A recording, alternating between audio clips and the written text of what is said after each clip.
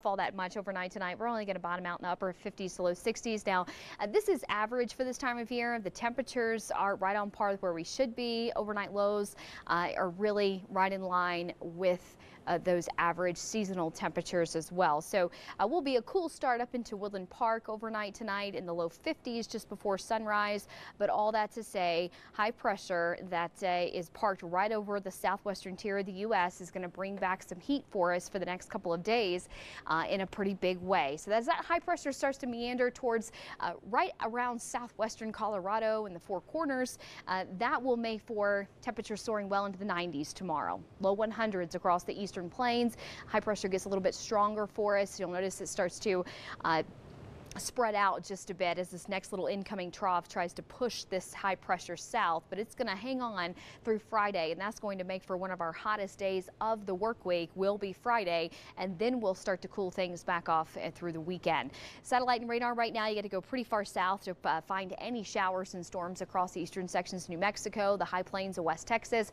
You'll notice a few returns showing up here right around southern Colorado, uh, but most areas are trending on the dry side. These uh, showers moving across parts of Montana Montana are actually going to ride up and over this area of high pressure uh, stationed across the four corners. So it is going to keep our weather here uh, dry tonight and through Thursday and most of the day on Friday. Let me show you this though. As you look at the future cast, uh, you will notice that we're going to have a few little stray showers and storms across the mountains tomorrow, well after that 3 p.m. time frame. Most of the first half of the day is dry region wide.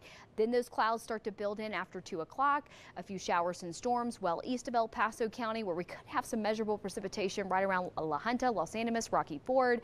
Uh, but I think most of the rain reaching the ground will happen west of I-25. Uh, the surface is still still very dry. So what you're probably going to notice tomorrow more so than anything is going to be what we call virga, which is rain evaporating before it reaches the ground. So expect the surface to stay dry tomorrow, but you'll start to get a little bit more cloud cover for the latter half of the afternoon. And any storms that are ongoing here across the San Luis Valley will linger well into the evening time frame. Then we just kind of reset on Friday. But I will tell you Friday holds about a 20 to 30 percent chance of a few showers and storms for some of our zones, places like Cañon City, uh, areas across Pueblo County, uh, Colorado Springs, about a 20 to 30 percent chance. And uh, you'll notice those storms will uh, be across parts of Pueblo and areas around the Arkansas River Valley between that 4 and 6 p.m. time frame on Friday. So the chances for storms are very low but uh, most of that really starts to surface on Friday. I think most of our afternoon tomorrow will stay dry. Temperatures well into the triple digits across the eastern plains, 95 in Springfield and 94 in Colorado Springs. Uh, we'll be in the 80s across places like Woodland Park and 95 in Fountain and Fort Carson, 78 in Cripple Creek, so still a little cooler for some of our local mountain cities, but well into the triple digits for Friday. So this is going to be our hottest part of the week. Uh, we'll be overshooting that 100 degree mark across Pueblo and Lamar and Las Animas and Springfield and 96 here in Colorado Springs.